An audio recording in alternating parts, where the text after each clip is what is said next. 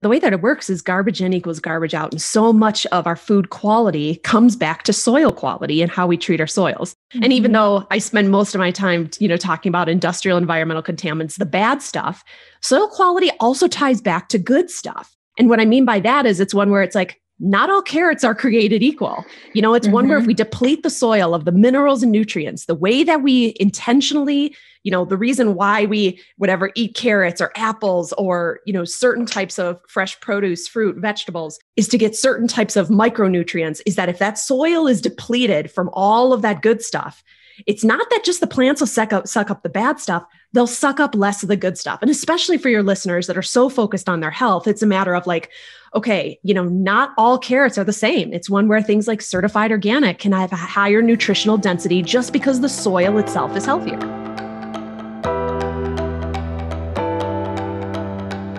Hello, and welcome to Pursuing Health. I'm Dr. Julie Foucher, family physician and former CrossFit Games athlete. Here, I bring you information and inspiration to help bridge the gap between fitness and medicine and support your journey toward your healthiest self. In this episode, I shared a very fascinating conversation with Jackie Bowen and Oliver Amdrup of the Coming Clean Project about the role of environmental toxins in our health. A little bit of background about Jackie and Oliver. Jackie is the executive director of the Clean Label Project, a nonprofit with the mission to bring transparency to food and product labeling by using analytical chemistry and data investigations to research top selling products. Jackie has a Master of Science in Quality Engineering from Eastern Michigan University, a Master of Public Health in Management and Policy from the University of Michigan, and she's appeared on numerous media outlets, including NBC, ABC, CNN, The Doctors, Dr. Oz, and Dr. Drew. Oliver is co founder of the natural health and food supplement brand Puori, as well as the founder of the first CrossFit affiliate in Denmark. His interest in food and supplement quality was born out of a desire to ensure his own personal fish oil supplementation was coming from the very best source possible. And since then, he's helped Puori to grow into a company that offers a variety of supplements to address the main nutritional deficiencies of the developed world with full transparency testing across their entire product portfolio. Now, I've known Oliver personally for many years as Puori was one of my sponsors when I competed in the CrossFit Games. He was also on one of my early podcast episodes along with Puori co-founder Julius Heslett, and I continue to be impressed with the standards and the rigor that they hold all of their supplements to. Together through the Coming Clean project, Jackie and Oliver are working to educate consumers on how environmental toxins can lead to chronic disease and how, as consumers, we can make better food choices. So, in this episode, we cover a broad range of topics from the basics of cleaner living to steps you can take to reduce your overall toxin load and even what to look for when purchasing supplements. We also get into some fascinating research, including why vanilla protein powder might be a better choice than chocolate. So sad. Now, before we dive into the episode, I do want to make it clear that this podcast is for general information only and does not provide medical advice. I do recommend that you seek assistance from your personal physician for any health conditions or concerns. So, with that, let's get started with the episode.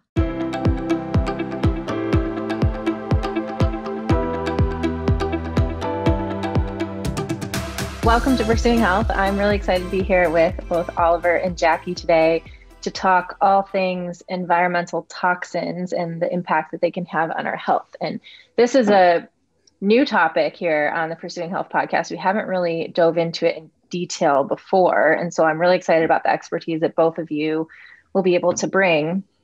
Um, but I thought maybe we could just start with each of you how you started to develop such an interest in this topic um, and such a strong passion for this area. Yeah. So, Oliver, maybe I'll start and then you can jump in. Sounds good. Oh, so, I guess a, a, little bit about me. I, I, grew up in Michigan, in northern Michigan, actually. Yay. And so, just yes, just appreciating the outdoors mm-hmm. and being able to be fortunate enough to grow up on the you know shores of Lake Michigan. It just fosters uh, such a um you know an interest in the environment when you're out like you know catching snakes and turtles and things like mm-hmm. that um so i always wanted to go i always wanted to do something that had uh, you know a positive impact on the environment. And then you know the crazy webs that we weave over our career path and how you think things are going to go one way and then you end up kind of settling on your chemistry uh, minor and uh, all of a sudden it turns into a focus on uh, kind of toxicology statistics and all things that are buzzkill at dinner parties. And so, uh, you know, in a in a long making a long story short, yeah, it just it really early on in in my life, just being able to focus on the environment, recognizing, you know, that uh, what we do the environment, its impact on public health, and I've been fortunate enough to kind of you know, have a have a day job that is just part of my personal interest as well. That's amazing. And so interesting too how it's true our paths weave all of these different ways and it doesn't always make sense at the time but then looking back you can see how it all connects together Absolutely. so it's cool to see Absolutely. that happening in your life how about you oliver and mine started very differently i would say i was uh, i was I think growing up in Denmark, you you tend to, yeah, you appreciate the environment. You don't use the outdoor the same way, but you actually think a lot about environment and how to protect it.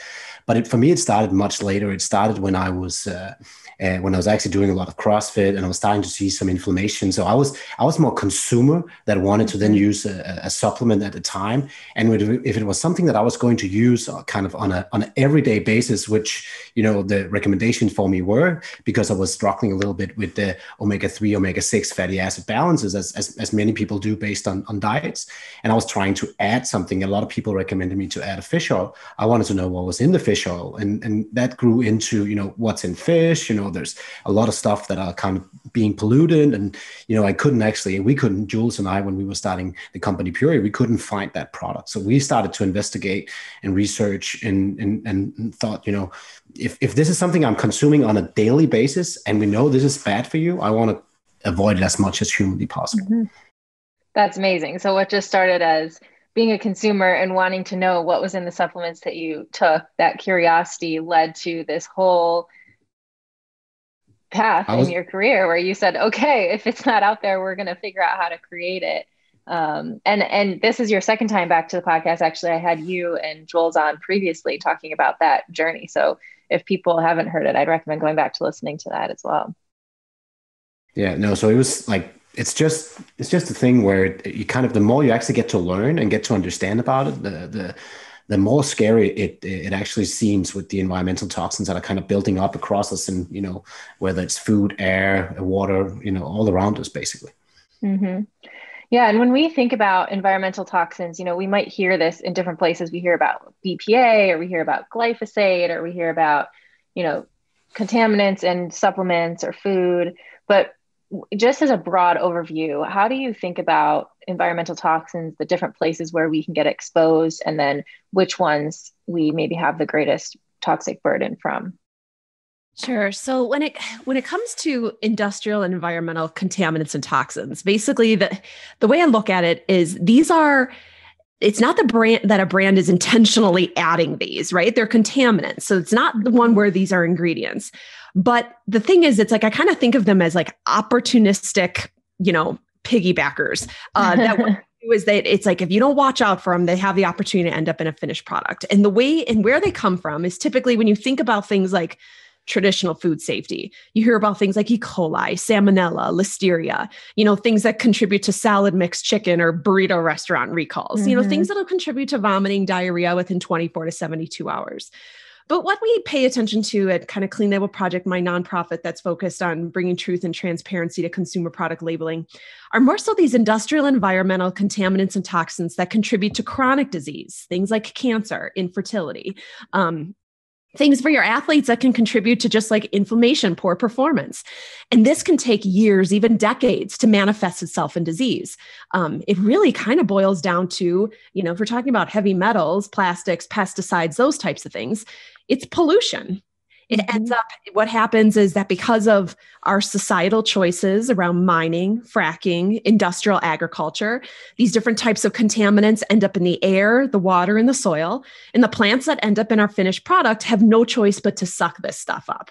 And then undoubtedly it gets absorbed into our bodies. And from there, that's where it starts kind of wreaking havoc over time.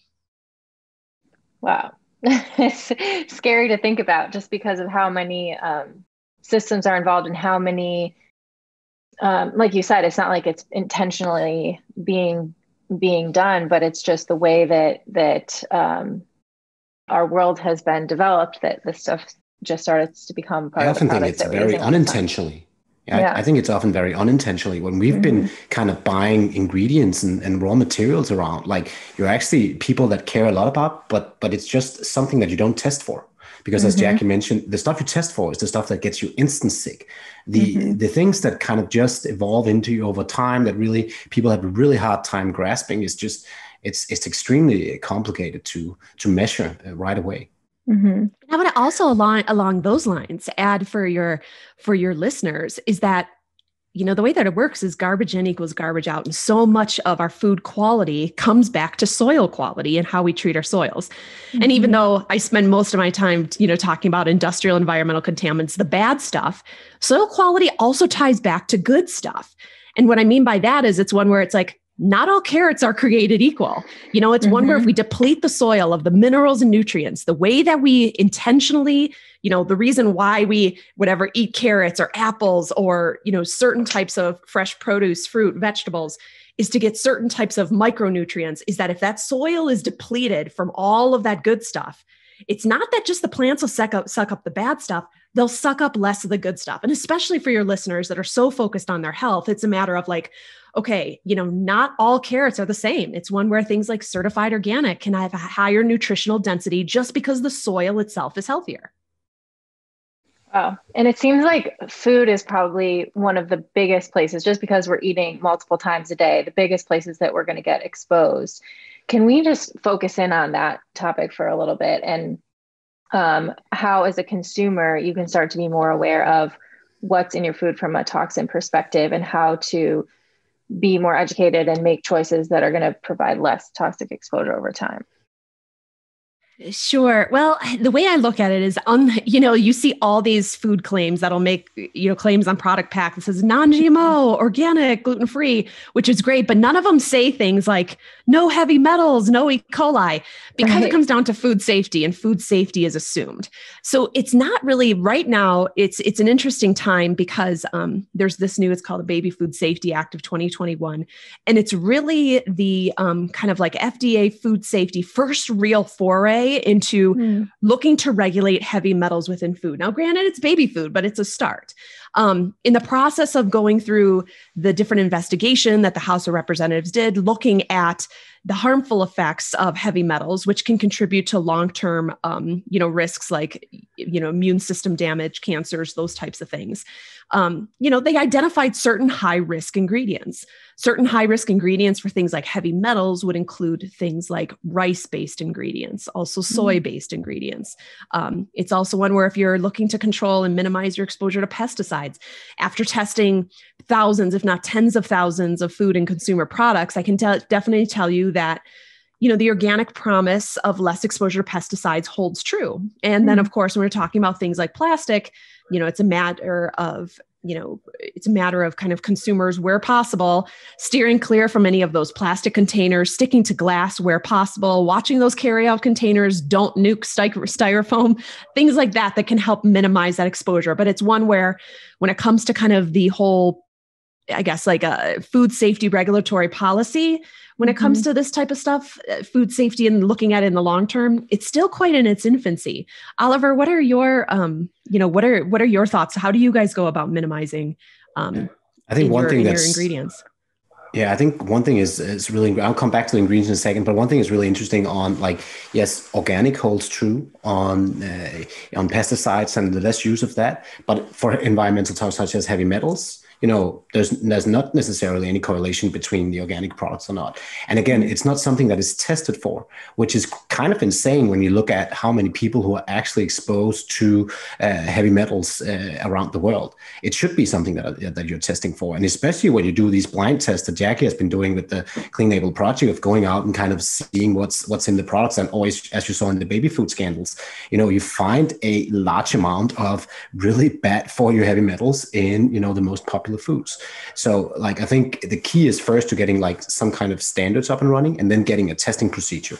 Um, so Jackie, back to, to your question mm-hmm. a little bit, it's probably more like like the things that we've we've been doing and encountering is that you know one thing is you know buying organic uh, ingredients when you can get organic and when organic makes more sense because sometimes wild products actually make more sense maybe than organic and, and so on. So you got to remember that. We started out with fish oil. And if you look at organic fish oil versus wild fish oil it's actually very you know it's very interesting organic fish oil might be fed with something in a tank still on that's organic but you know the quality of it is not nearly as good as the wild. So you know that that can be various things. That's why at the end of the day the key thing is to test the finished product because all of these different certification that just kind of you know they test the percentage of what's out there or they do like these like few analysis drip out here. I think the key and why uh, jackie and i have spoken so much together and spent so many hours together is that like the idea behind is like a second like a, a second layer of testing like a, an an all-in transparency pledge on the finished products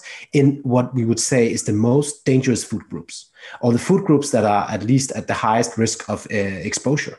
You know it's not that like testing these things are not that expensive.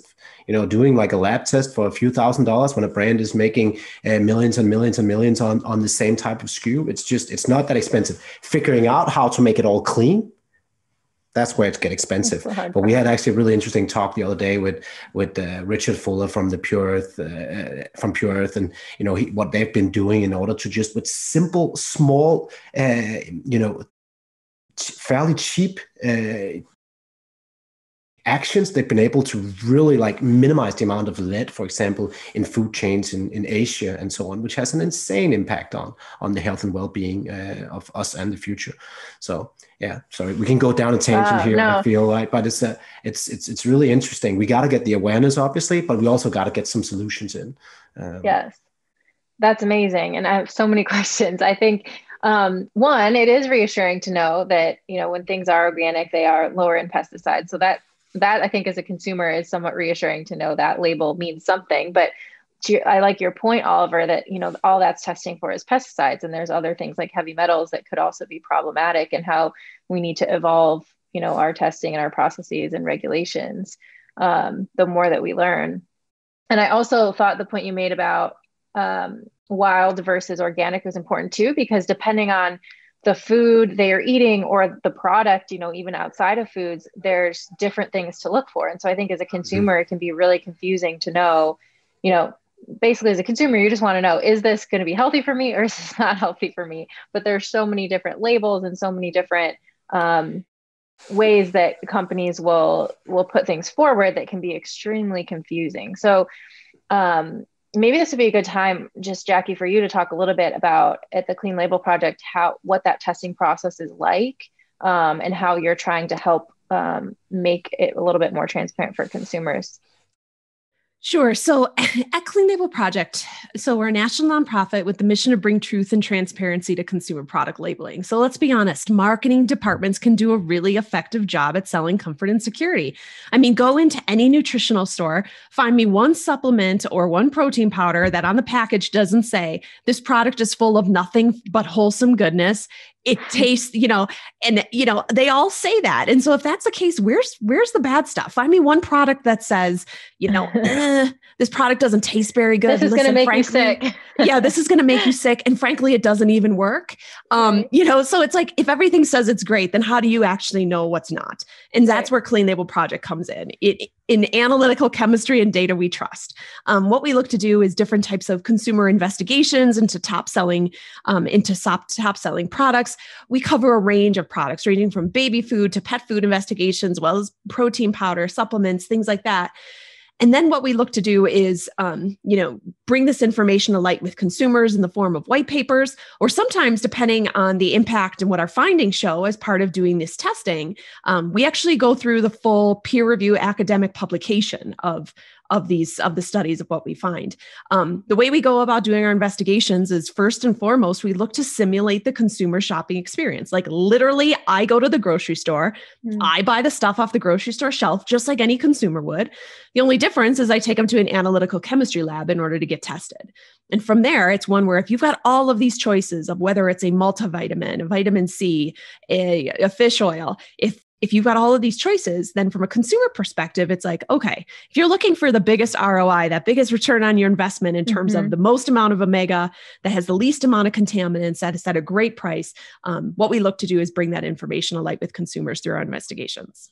We That's also amazing. offer a um, we also do work with brands in terms of having a certification program just like we do with oliver and Puori where we will randomly test their products to make sure they stay true to their quality to their word and their quality promise and even in the case of Puori we actually go and they're part of our transparency project where these guys are down with us just taking all their test results and posting them posting them publicly on our website. So clearly they are they are pretty hardcore when it comes to their commitment to transparency and ingredient quality. You're testing everything and it's i know. Uh, we look at their nutritional density yeah. and we look at all of their stuff. Yeah. So they're they're great because they're really committed. It's one where it's like, no, the good, the bad, the ugly, just post it all up there. Like, okay, for the world to see. And, yeah. And that's what we hope. Sorry, Julie, but that's what we hope the future yeah. will be, right? Like that we we actually have that data on on on all brands. So you would mm-hmm. like if you had knowledge that okay, I've been exposed to let's say more uh, lead in in mine and it's in my body, I would try to avoid the product that has the highest uh, uh amount of lead in it. If if there were some kind of difference, it's kind of like buying a car. You would have you would have some data points that you can actually you can compare different cars to each other and still make make sense of it. And that's i think the goal uh, for this project too which is uh, to eventually have that set of data on the stuff that you really do not want in your product to be able to make educated uh, decisions right? Mm-hmm. yeah it's amazing. And i think that's one of the things that i had always been so impressed with about Puori is how you all that is your first priority is making sure that you have the best quality products and you're not afraid to be transparent about it and not afraid to make big changes if you find out that something isn't as pure as you thought it was. And i think one example of this that I, that I think is educational just for the listeners in general is about protein powders because i remember when you started making wanted to make a, a vegan protein powder um, and I liked it because I wasn't really able to do whey because I was having you know a little bit more sensitive to whey. Um, but then you tested it and said, wow, it's really hard to find vegan sources of protein that don't have heavy metal contaminants. So can you just talk a little bit about that process? I, yes. I can, and it's I, and Jackie, you can as well, I'm sure. But the, like the, the, the the thing for us as a brand was the consistency in actually sourcing the ingredients was so freaking hard. And with with vegan products, that is uh, uh, you know really really hard. And we've set ourselves some standards internally, which are often you know uh, right now we have an internal kind of standard issue, so to speak, where our standards are 300 times better than the standards that are set by the regulations, and we're like you know is, is this something, you know, we're not selling that product if, if we have that issue uh, with our standards, but the issue is all others are. So as a consumer, uh, sorry, as a as a buyer who's buying ingredients, you know, when you have these standards, it's uh, it's it's really freaking hard. And vegan vegan uh, proteins in general, and Jackie, you can speak more to that. You know, they they when you concentrate the protein content, you also concentrate whatever was in the ground, uh, you know, where they were sourced from, and and that we felt has been so hard for us to do like repeatedly. We've we actually found a source now that we think uh, like that we know for the data we've seen. We can't say about the future that's the other thing here is like we might end up stopping, uh, you know, making a product again in the future because it, we can't get the raw ingredients and the inequality that we have, which is terrible for consumers. We had so many angry consumers that liked the product and then we discontinued based on that. But but you know that's that's that's the pledge of purity, right? Basically, that that it we promise it's it's clean, or at least uh, you know that the world is polluted in some shape or form. That's why there will be trace uh, uh, of of pollution in pretty much everything uh, you you do and touch that comes from the world. So we can't be like you know saints. That's not possible yet, right? But but again, from the standards that we've set, um, that makes it so hard to actually create so Jackie, mm-hmm. you can you can talk much more about that because you've tested yeah. so many different proteins. In terms of protein powder, so it's been a few years, but what we what we did is we went into the marketplace, we purchased 121 of the best-selling protein powders in America using the amazon.com bestsellers list. Again, tested them for heavy metals, pesticides, plastics. Um, and you know, some of the things that were interesting that were kickers, you know, going back to the whole plant-based versus whey, um, it was it was interesting because I, I didn't really know what to expect. The the impetus for doing the testing it was like after the new year's feeling gross looking to set that new year's resolution and mm-hmm. so many people reach for protein powder of athletes of all capabilities looking to supplement their already healthy diet by using a you know a you know a scoop full of protein powder in their morning smoothies those types of things.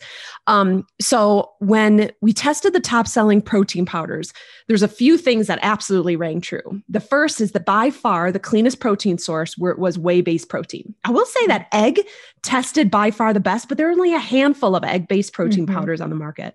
By far on average the most contaminated were your plant based protein powders but i'll elaborate on that within those those listeners that are following a vegan diet that aren't going to reach for whey it's totally fine. Within the plant-based space on average we found that the cleanest vegetarian protein source happened to be pea protein where we saw the most contamination was going to be your soy or your hemp. Hemp is a natural bioaccumulator. What that means is hemp is just a really good garbage collector. Mm-hmm. It's mm. just inherently good at sucking up the bad stuff in the ground. And Jackie, and here- I love hemp seeds. That's annoying. Right? Like, yeah. And there's no testing on the one that I'm buying. So oh, like, no. I got to do it very rarely. Oh, yeah. you're going to have to sparingly. Yes. It's all about, it's all about making sure you've got diversity in diet. But even military installations in the US will plant hemp in order to suck up any of this like residual artillery, you know, contamination that happens to be in the ground. And so it's just hemp just happens to be really good at it.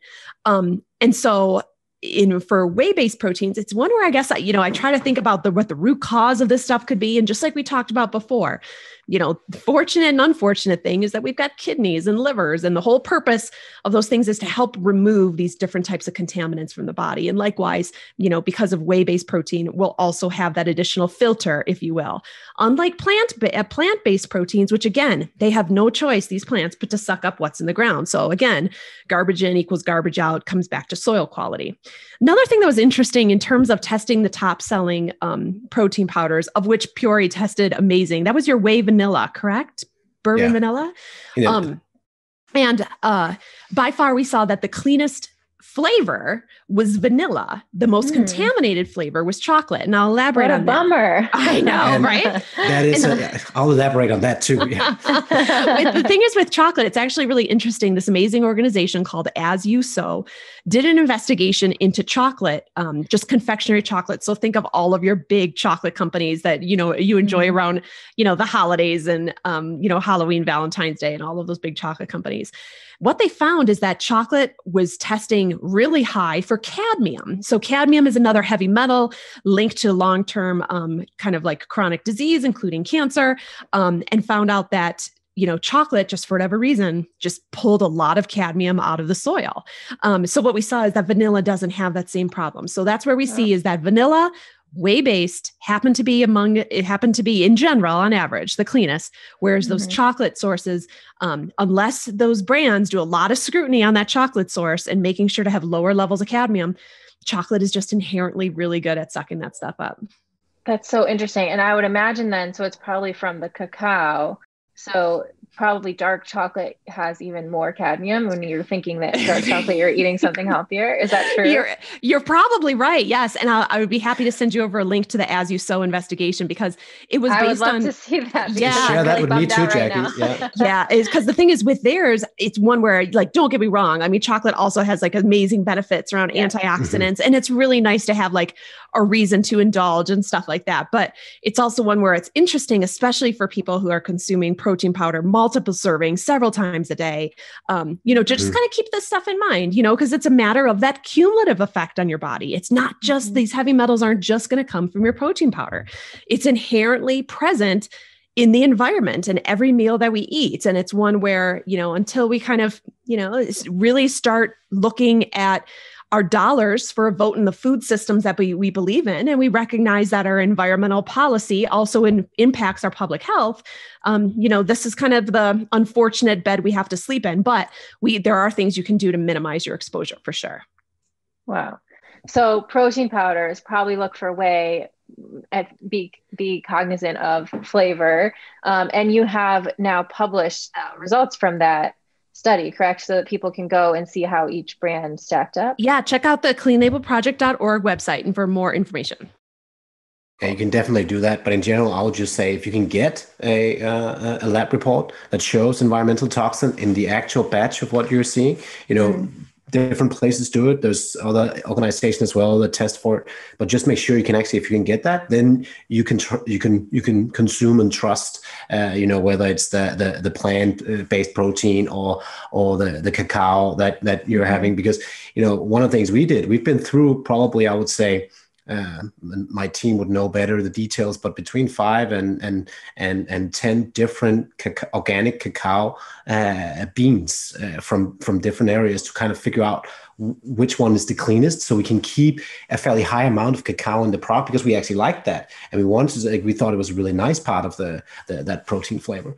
Um, but but we actually had to in the end just decrease the amount of cacao we're using in the product so a little less flavor if we want again with the mindset of this is a product you might consume day out day in and again and again mm-hmm. you know mm-hmm. we want to make sure that we are on our low standards which is uh, often proposition 65 which i'm sure we'll come back to or even even lower depending on uh, yeah uh, where where in the world we are and what what we kind of seeing as the the strictest standards basically and that's a great point that Jackie alluded to earlier too, is just looking at the frequency that you're eating these foods and having diversity in your diet and and all the different things that you're eating and taking that into consideration too. There's a certain amount of sort of risk tolerance that you can have, um, but just being aware, I think, is the most important part.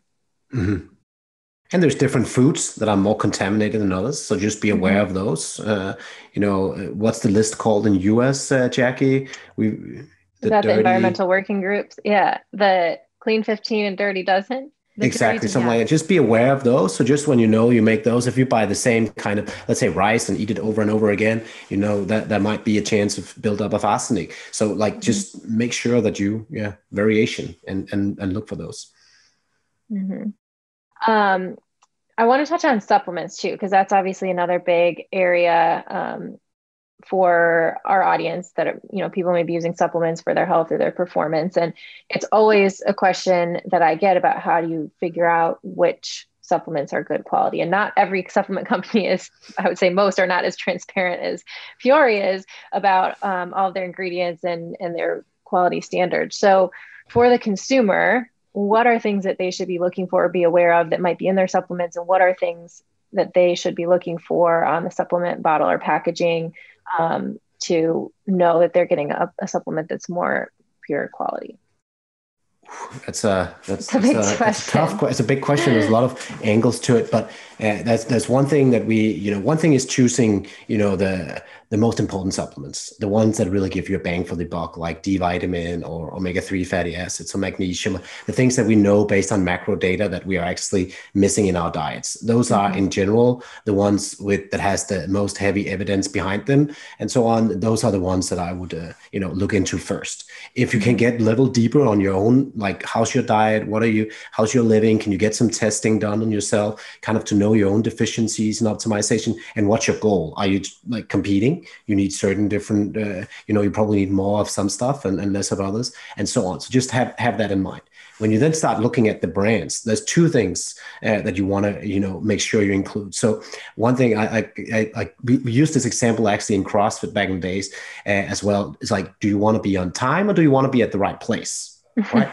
you need both. You can't if you're you're meeting someone, you got to be both at the right place and on time. The same goes for supplements. Do you want it to be clean and efficient so you can have a really clean product that has almost no active ingredients? You know that doesn't make any sense anyway because you're consuming, let's say, omega fish oil. You're consuming it to get EPA, DHA, like the omega three fatty acids. So you can have a, a super clean product that had almost zero EPA, DHA in it that doesn't that doesn't make any sense. So you you need to have uh, an effect obviously that will deliver you results especially when this is a product that has zero instant gratification. Uh, mm-hmm. you know it's not something you're enjoying. Like at least a protein shake you can be enjoy- enjoying but like capsules and pills uh, for that matter you know it got to deliver. And then at the same time it got to be clean. Those are the two things. I would look for you know the third party testing and i would look for them that are obviously doing it on a batch level and I'm I don't think a lot of people is doing that yet. Uh, I think a lot of manufacturers are testing their raw ingredients, but you know, let's get more p- people to touch the actual product that is out on the shelf that's being consumed uh, because also some of the studies that you've shown jackie and seen you know sometimes we, you saw for example i think i wasn't in protein category in the baby food category i can't remember but it was like more than half of the brands that claimed they were bpa free had bpas in it yeah. So here's what I think is is like it's because they think they're buying ingredients that are BPA free. It's not because mm-hmm. they're intentionally uh, know that they have BPA in it. We're just going to put this on the label. It's just that that's at least how I think the industry uh, is is working. So just you know, if you can get that level of transparency, you know, especially something you consume on daily basis, that's where I would, uh, yeah, spend my dollars. Yeah, I completely, Otherwise, I yeah. completely agree. And maybe elaborating a little bit on BPA, you're absolutely right. And it was actually in the protein powder category. So it's like so often you see BPA free, whether it's on your, you know, bottled water or your like your beverage container, whatever happens to be. The thing that's fascinating is it's like it, BPA doesn't just come from finished product manufacturing. BPA is actually, um, and for for those in your audience that may not be familiar, that's called bisphenol A. Um, basically, it's it's it's a it's a plasticizer. It's actually allowed as a food con a food contact surface or, or additive. So you see it in a variety of things in a food manufacturing environment. So when you see brands make a BPA free claim it's also it's one where it's a question of like is that in the finished product have you asked any questions of your supply chain to see do they mm-hmm. use bpa in any of their liners any of their trays in making the product um, you know when you say bpa free down to what level based on what standard it comes down to like how do you actually interpret the the claim free from um, mm-hmm. um and then going back to what Oliver said in terms of when it comes to selecting supplements, the other thing that I would say too, and Oliver, you and I bonded over our vitamin D deficiency. Um, another thing too is like very sure interesting, to, right? It's, it's, a really interesting story. Yeah. We um you know the thing is also make sure to get tested because sometimes supplements can be too much of a good thing you know it's a matter of like does your does your body need it um, so it was one where it's interesting i was one of clean label project's technical advisors is an, an md and she was telling me about you know growing up in, in michigan just inherently um, people from you know northern climates and uh, higher elevations happen to have um, uh, like lower levels of vitamin D, which has been linked mm-hmm. to things like infertility, colon cancer, things like that. And so she's like, next time she's like, I, I, anticipate this to be this next huge big trend because so many people were now applying sunscreen. Typically, get your vitamin D from the sun. So many of us are indoors working at the office. Um, people aren't getting their their sunshine, their natural mm-hmm. vitamin D. So I'm like, oh, you know, next time I went to the doctor, I made note. Let's make sure to get you know vitamin D tested. Mm-hmm. Got it tested and it came back and I was 23. And where you want to be is any something over 30, um, mm-hmm. ideally over 50, but at least over 30. So I was technically deficient. I was put on a high concentration vitamin D told the story to Oliver when I happened to see him. He's like, no kidding. He's like, I got tested for vitamin D. And poor Oliver up in the Nordic area, you're, you were like seven. You were, yeah, I was like, I, exactly. I was, I was wow. like, oh, you need it now. You need it bad. That was uh, before uh, you started Puori, that, hopefully. that was before uh, okay. I started Puori. But I actually, interestingly, also found out that I had a hard time absorbing it. So mm. uh, later ah. on, because they started me on a pretty high dose. So I did a really high dose and it didn't really increase uh, until uh, Umaro, a friend of us uh, mm-hmm. that you also know, Julie, you know, he put me on the most insane dosage, right, to to make sure we finally got up there, and we did some DNA testing on me as well, and so I had a really hard time mm-hmm. uh, basically absorbing Vitamin. So I and there can be other factors too. Like I learned, you know, magnesium. If you're deficient in magnesium, sometimes that can affect vitamin D absorption too. So it's all of these other nutrients yeah. that interact together. Um, okay, so uh, Jackie, can you talk to any of the other, obviously, you know, people can look for clean label projects results, but any, you know, any of the other um, certifications that they may see on supplement bottles um, and sort of what those mean or what they should be looking out for. Uh, definitely. So I, before coming to Clean Label Project for 15 years, I'd be remiss to not mention I worked at um, NSF International, which is a World Health Organization collaborating center on food safety, water quality. They've got a pretty amazing, robust dietary supplement program focused on both GMP as well as banned substances, where especially mm-hmm. for some of them, your more elite athletes, that's going to be a really mm-hmm. big deal. Um, and so obviously that's another great resource. Clean Label Project, you will see that on a variety of supplements. The work that we do focused on industrial environmental contaminants and toxins. Um, you can also see that whole transparency project using QR codes. So you can actually pop the hood, kick the tires, see how products actually performed. Um, other references you may see in product packaging will be things like, you know, USP or making references to CGMP. That would be good manufacturing practices. Good manufacturing practices is kind of the baseline when it comes to FDA compliance, the minimum expectation within a food safety manufacturing environment. So these are a variety of the different things you can see. Um, that you'll see of claims on pack. But in general, if there's a certain supplement or any food product that you love, that you're enjoying every day, um, or that your family is is consuming, you know, it's a great time to be a consumer. Use social media to ask questions, demand answers, and use, you know, the thing is with social media, then you hold them publicly accountable to answer. Um, so I would say ask those questions in those types of forums. You're so tough, Jackie, and uh, but I know I think it's actually be be the annoying consumer sometimes. Totally. That's that's how we started as well, and we were asking these questions to the brands like, "Hey, can we get a report on how much uh, mercury is in your fish oil?" Uh, and the, rare thing is that you rarely couldn't get anything out of it. So it's obviously you know it's it's getting much better. Uh, we're seeing much more attention on this, but but you know ask the questions. I would say also if you have a favorite product, maybe ask them to get it tested uh, mm-hmm. that you consume on a daily basis. I would love to have so many more products tested. Back to that dark chocolate that I love here. Mm-hmm. It's not mm-hmm. tested. I'm going to send it to you, Jackie, at some point to, to run it through the labs I, I to know what I. Yeah, I yes. It's my. That's it. That's a great idea. Okay, so so knowing that you know GMP is something that you may see on labels, but that's sort of the bare minimum. That's I think good for people to know. It doesn't necessarily mean it's the greatest quality. Um, and then some of these other um, certifications like NSF or you know your Clean Label Project, or you said one other, the transparency, something about transparency. Yep, the that would be the Clean Label Project Transparency Project, and that would be project, the one okay. just like yeah that Puori's using, where it's like the QR code that allows you, you to actually yeah. see. That's one thing to have, like, okay, you've got a third party seal. It's another thing where it's like, okay, it's got Here's a third party seal, yeah. and it, you know we've got nothing to hide. Here's all the deets. Yep. That's amazing. That's amazing. Go ahead.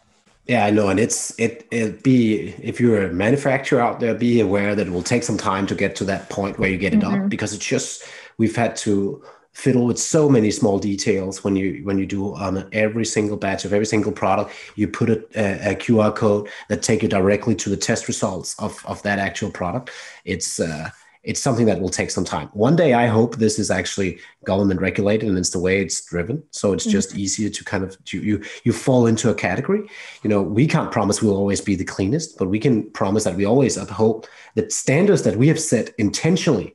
Because again, I think so many brands are doing it unintentionally. So if mm-hmm. we at mm-hmm. least can uphold some standards that we've set intentionally, that's yeah, that's the key. That's great. One other question about purchasing. So a lot of people now will purchase supplements on Amazon. And I have wondered or thought about is there a difference between buying it direct from the source versus buying on Amazon? You hear like, you know, crazy things about maybe things getting changed around, or even just thinking about these supplements being stored in warehouses for a long time and the impact of temperature or other environmental conditions. Have you ever done any testing on, you know, like a supplement that's sold through Amazon versus from directly from the manufacturer? That would be a great test. I haven't, but I will say this. I did see that Amazon is looking to kind of improve how they go about the kind of like their quality assurance in terms of supplements you know, I'm not exactly sure the extent to which that can be regulated. Um, in general, when in doubt, if you want to get the good stuff, make sure just go direct to the brands. You know, the other thing to kind of keep in mind for some of these like, you know, small to mid-sized companies is that, you know, Amazon is an amazing platform and able to get your product out there in front of everyone. But after you know that you kind of, you know, that it's something that you're going to use, you know, sometimes signing up for those direct to consumer um, where you can get better deals and things like that. It, sometimes buying it from directly from the brands can be a, a great way to ensure the quality, making sure that it's got the shelf life that's something that you can trust, as well as it's one where, you know, you developing more of this relationship, coupon codes and things with brands you have easier access at least and it's easier to communicate. That's what i think is the hardest through amazon as a consumer right? Like you don't really get a lot of uh, you know one-on-one communication. Uh, so so that's different. I, I still think amazon uh, can do a good job and they're actually doing that they're starting to as jackie mentioned they've they've they've initiated a new set of rules to kind of be stricter on the qualities that they put in. Um, but yeah you know if you want more information, you can There's go straight to the brand. It's easier. Right. right? Yeah. There's just so many layers these days. There's so many you layers. have to right. that you have to think about. But I think it's a great point. You know, once it's something you know you're going to take on a regular basis for the long term, it's also just a great way to to better support that company and that brand just to go directly to them. And a lot of them have, you know, like the monthly memberships or things that you can get regular shipments that makes it easier too. So that's a great point. Um, okay, so I just I know we don't have too much time here left, but I just wanted to ask the question because we spoke spent a lot of time focusing on food and supplements in particular. But um, and I think we've given people some great information and tips on how to be more informed consumers there. But if we think about other places that people might be getting exposed to toxins just in their daily life and environment what do you think are sort of the biggest things people can do like biggest bang for your buck in order to decrease their total um, toxic load I would say another one in addition to food would be your different consumer products. So specifically, especially um, you know looking at personal care products and cosmetics. Your skin is your biggest organ. And so so often it's one where i think there was a statistic i heard that most women on average apply 23 chemicals before they leave the house in the morning. You know when you think of cosmetics and body wash and shampoo and conditioner um, lotions and all of those types of things um, it's a matter of also looking at that these different types of chemicals come through those sources as well. So be mindful of it. Your household cleaning materials think about think about the things that you spray within your within your home also contributing to kind of that indoor air pollution, right? And mm-hmm. so it's a mm-hmm. matter of where possible, you're trying to minimize your your chemical load in those capacities. And are there places that people can go or things to look for when they're buying those types of products um, to know what they're getting? Absolutely. Again, uh, you know, in terms of Clean Label Project, we've done some work within consumer products as well as household cleaning products, but there's a lot of other amazing organizations out there really promoting more of those environmentally forward. Mm-hmm. Environmental Working Group, Consumer Reports have also mm-hmm. done different types of investigations into what's actually in this stuff.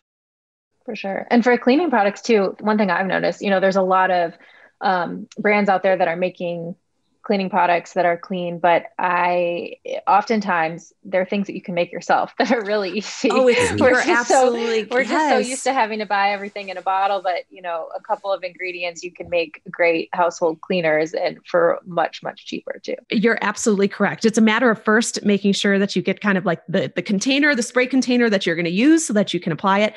It's always interesting that with uh you know, on the topic of household cleaners, I remember it's it's been a while now. It's probably been like 10 years ago. It, it's it's interesting because it's just like supplements is that you first in order to get a repeat purchase for a brand, to get a repeat purchase from a customer, it has to fulfill its function first. So if you're going to have a household cleaning product and it's going to be environmentally responsible and sustainable, the first thing it needs to do is work. And then it needs to have that characteristic, just like a supplement of like, first yeah. thing I need is for you to make sure that it actually, I get the protein, which is the whole reason why I buy it. And second, make sure it has all these other amazing characteristics.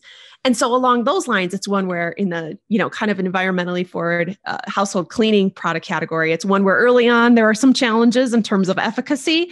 But I mean, lately it's been one where whether you choose to make it at home or whether you choose to kind of buy some more of those environmentally forward ones, at the end of the day, they're much more effective than they were back in the day. Another thing to add to your Julie, there is uh, one of the things that we've, especially in US, is probably uh, lead in paint.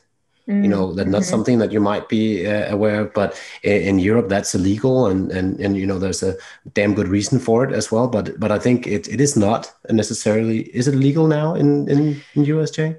No, the un, I think the, the problem is it's it's un it's unleaded paint, but because so many homes are older, that leaded paint is still in mm-hmm. these homes. Mm-hmm. And that's and that goes back to like the old appliances in general. Just uh, is there lead in pipes in your house mm-hmm. uh, because that can can sneak in and, and wreak havoc on you. So uh, you know some of those things are also worth to consider. I think the story we had Jackie uh, from from Stephanie Canal uh, from the turf that the, her mm-hmm. kids' school uh, I heard again, that one. That's- exactly where the and, and, kids are putting everything into their mouth and babies, and so and, and they're even more fragile when it comes to these uh, uh, heavy metals. So you know mm-hmm. that's something to be aware of. Um, I actually had, a, you know, kind of like a, it's a simple thing at home, but you know, we we when we bought our, our first house, an old house here in, in in Denmark, you know, we have this little pest called uh, silverfish, which is, uh, you know, it's it's basically it's not very annoying. It's I think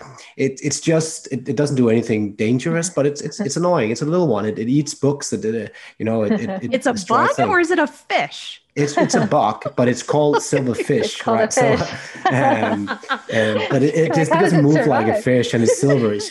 But but thinking of that. Normally, you would put out like uh, you know most people uh, just yeah. use different kind of insecticides in your home mm-hmm. Uh, mm. that you would like because you know there's definitely ways you can kill them naturally. Mm-hmm. Uh, it's not always super efficient with garlic gloves around mm-hmm. like around the house or whatever you can put out. But you know, so so you you know, without actually knowing it, I was using some of these products before and I thought, what am I doing? When I was like, I'm actually putting out uh, insecticides in, in my own house, and I have small yeah. kids, right, that uh, are crawling around. So something like that that you don't really think of. It's something you've always done, so to speak, at least in in in, in the mm-hmm. upbringing mm-hmm. that we've had.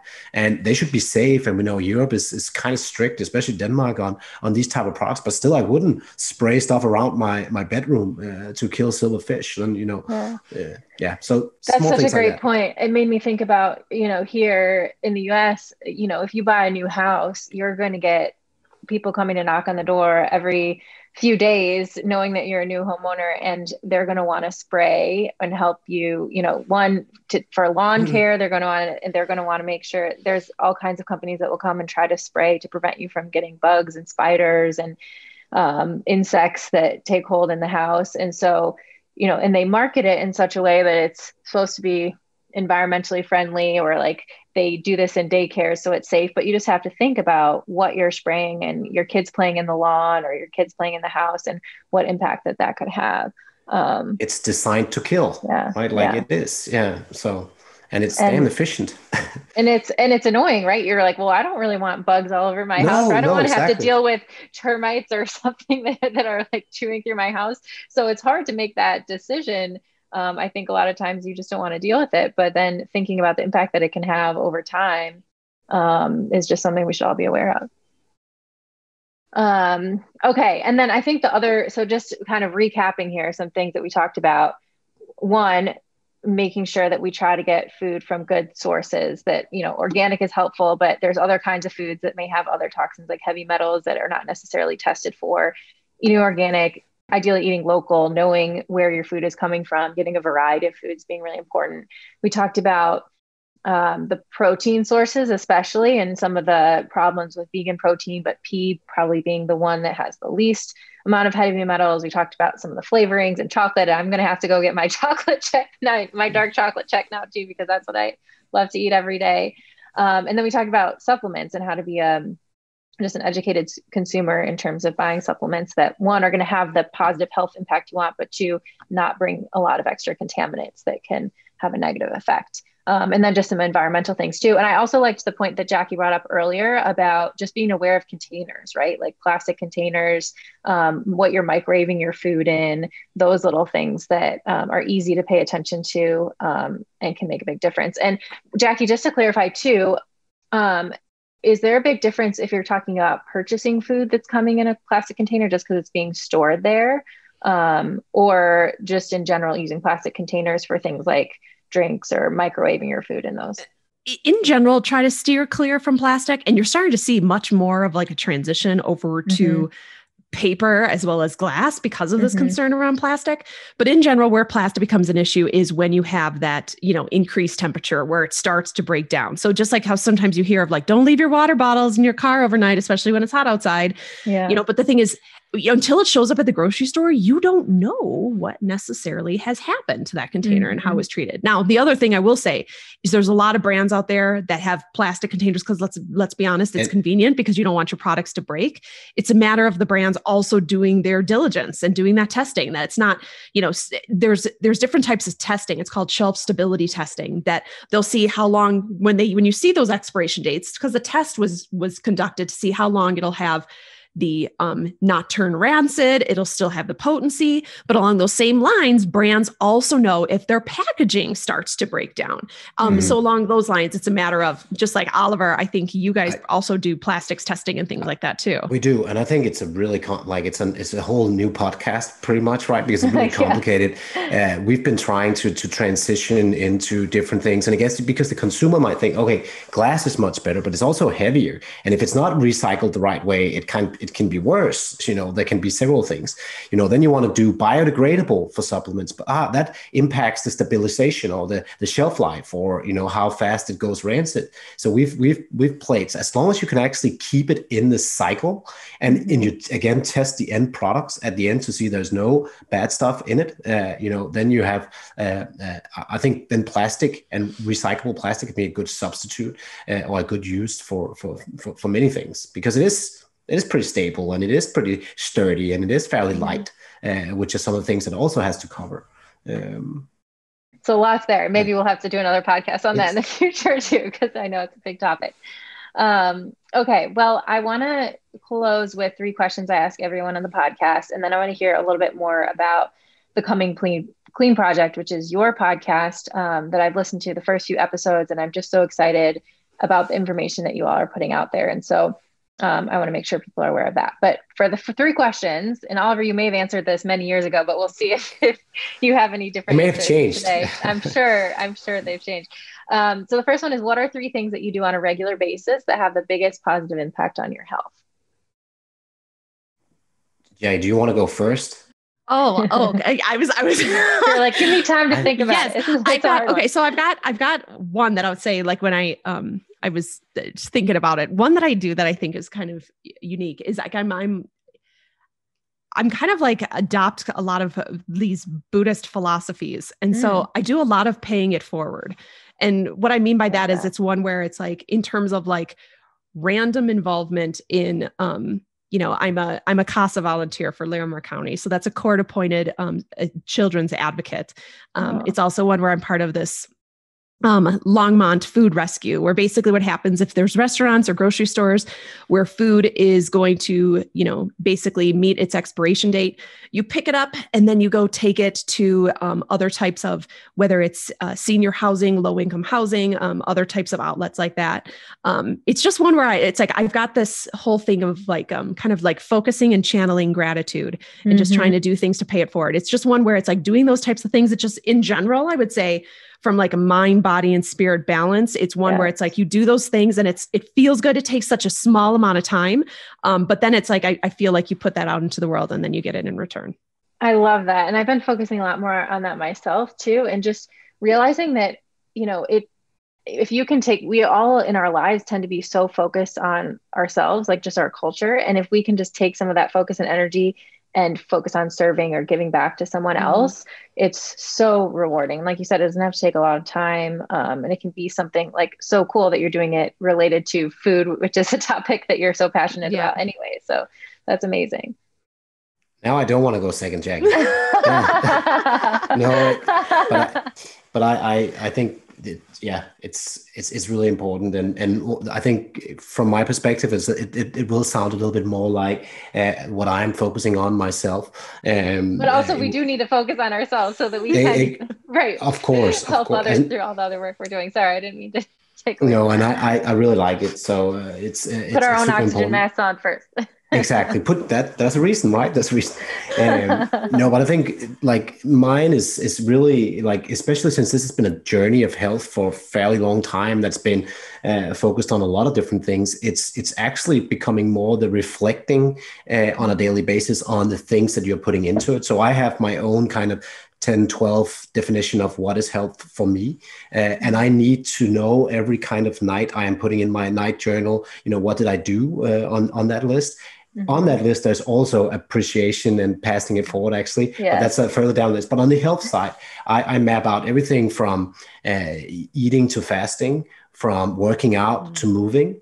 Uh, from breathing, meditation, uh, and, and, and general kind of like uh, appreciation and journaling, uh, tracking uh, all the things you're doing, and then um, the different I would say if, if I had to add one other other piece here is like stacking it up on top of each other, so I can mm-hmm. do as many things in, in, as little time as possible with two small kids, you know, uh, business, you know, wife, you know, family, a lot of things going on. You know, I I try to stack as many things on top of each other as I can. So uh, I'm meditating uh, at night while I'm reading uh, because it's something that I also need to spend more and getting you know infrared uh, light therapy at the same time. Mm-hmm. So I'm like trying to combine them as much as I can. So stacking them up that. to make them efficient, mm-hmm. and then keeping track of it. Right, mm-hmm. because then I, I know that. I haven't been doing a hard workout for a long time now. I need to put in something like Fran or something like that. I've been mm-hmm. steering away from the short, super intense workouts, but by looking at it on a piece of paper, it's just you know it's longevity. It's it's for the long run. Yes, like everything, tracking and data is is important to know that you're steering in the right direction. Cool. All right, two other things. You can make them quicker, but you, I want top three things from each of you. I, I felt like I gave two. So one was uh, tracking, okay. journaling, okay. and tracking, and the other one is stacking. I got it.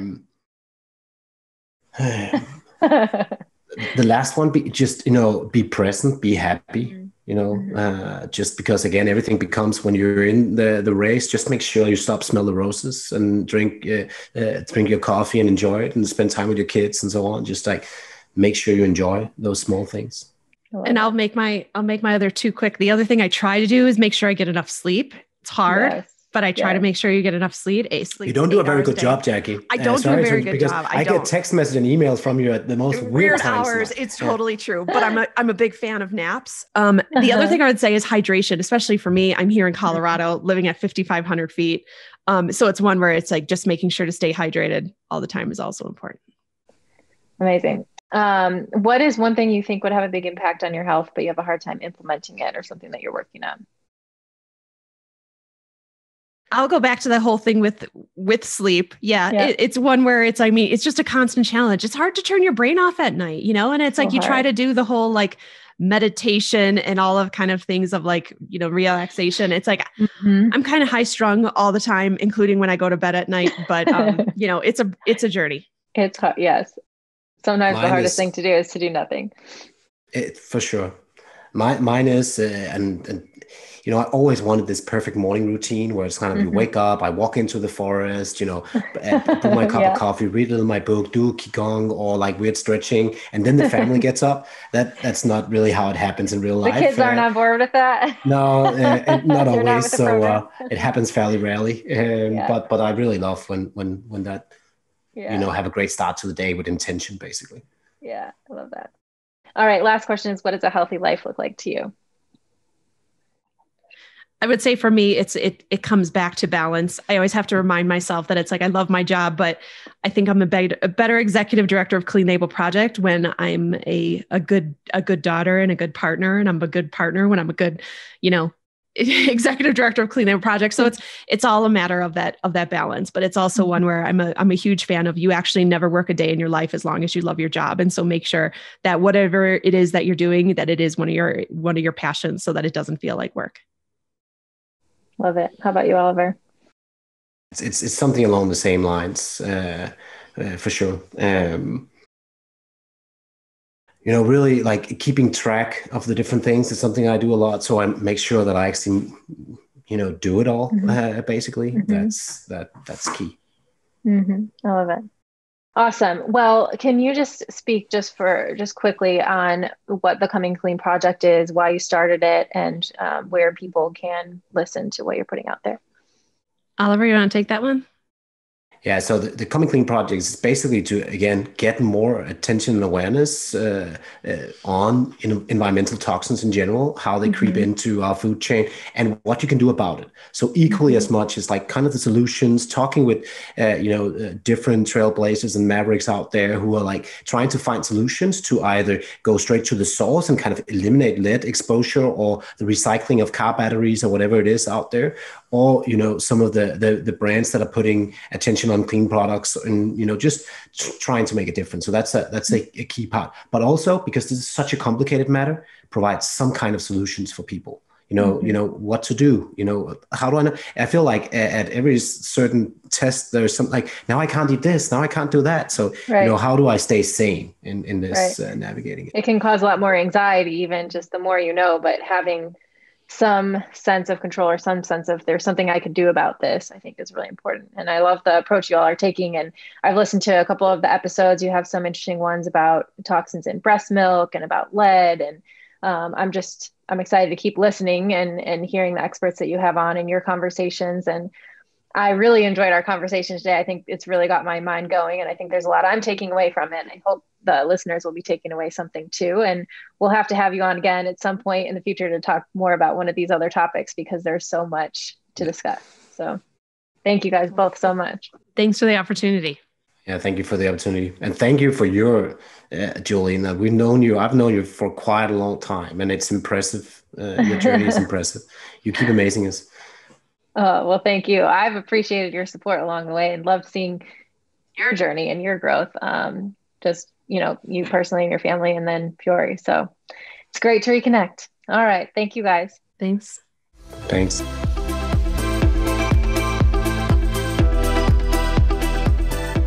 Thanks so much for tuning in. If you enjoy listening to the podcast, please consider subscribing and giving it a five star rating on iTunes. It really does help to get the word out to more people.